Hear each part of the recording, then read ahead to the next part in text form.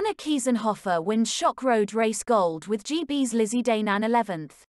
Austria's Anna Kiesenhofer launched a remarkable solo breakaway to win road race gold on her Olympic debut, as Britain's Lizzie Deignan finished 11th. 30-year-old Kiesenhofer, who is not part of a professional cycling team, is the first Austrian to win an Olympic road race medal and the first to win an Olympic medal in any cycling discipline in 125 years. She was at the front of the race from the start, one of an early breakaway pack, before going it alone with 40 kilometers to go. The Netherlands' Annemiek van Vleuten won silver, 75 seconds behind Kiesenhofer, with Italy's Elisa Longo Borghini third.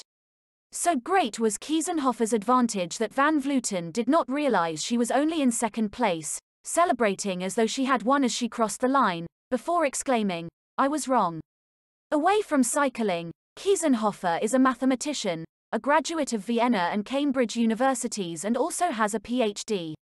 Kiesenhofer was one of a five-rider group that escaped the rest of the field within moments of the 137 kilometers race getting underway.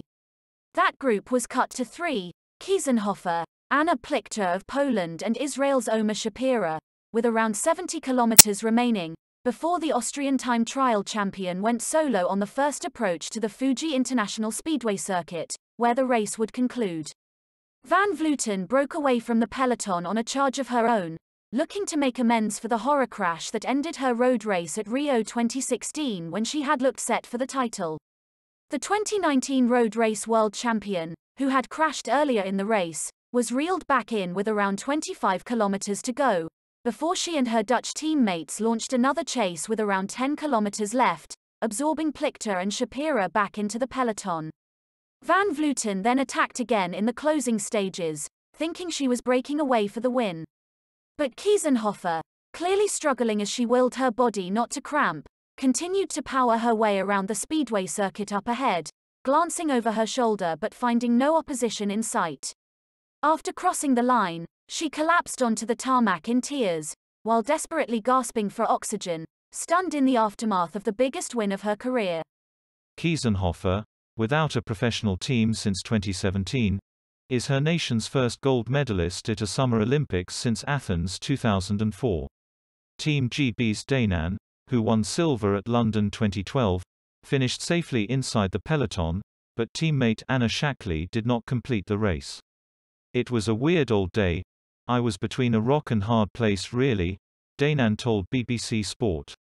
From midway through I was on my own but unfortunately on my own but also marked so I didn't have the freedom to ride as a solo rider. Tactically I think I did the right thing, it just didn't go my way. It was a weird race. Although there are small teams there are agendas within teams. Because the race is so hot and so humid all of the moves were a bit blunted, there wasn't that kind of spark. It was a defensive race but still really hard.